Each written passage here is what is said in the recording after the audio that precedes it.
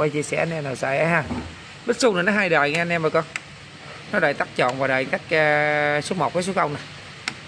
Nè tắt tròn là tắt nhận.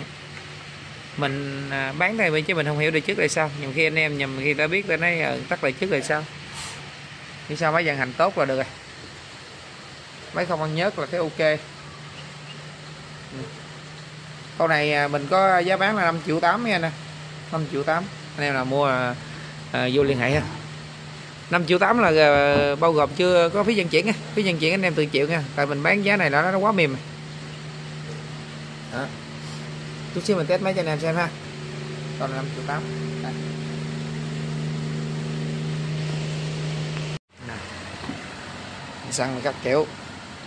Xăng trong đây cũng còn trắng nha anh em. Chứ không có xét nha. Đó. Quay chia sẻ cho anh em vậy ha. Anh em nào có nhu cầu cần xài dòng này thì alo ha Pitsu GM 181 là uh, xéo tua chậm. Đây anh em uh, muốn vô chốt hàng thì xem cho kỹ video nha. Đó. máy thì cũng bông chốc nhẹ nhẹ thôi nhưng mà ngược lại uh, mình bán anh bao em máy chưa bung. Hơi uh, hơi thừa uh, nó không ra. Cái thường là hơi cho cái nắp OHV cho nắp cọ. Với thứ hai là máy chưa nhớt.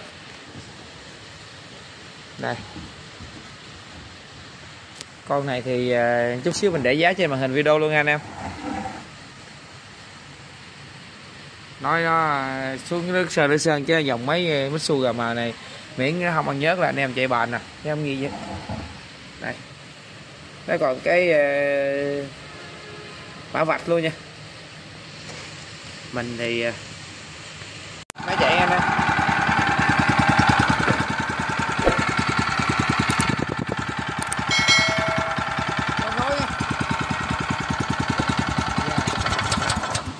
rồi mình à, giật lại nha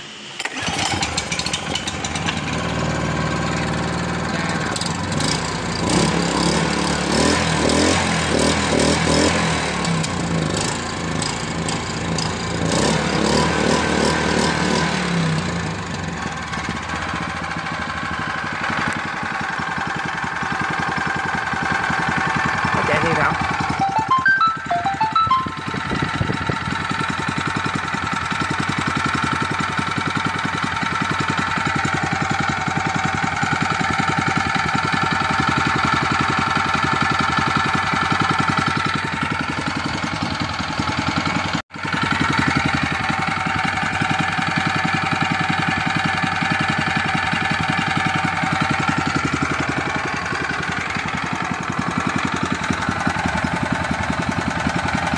dạ nghe em.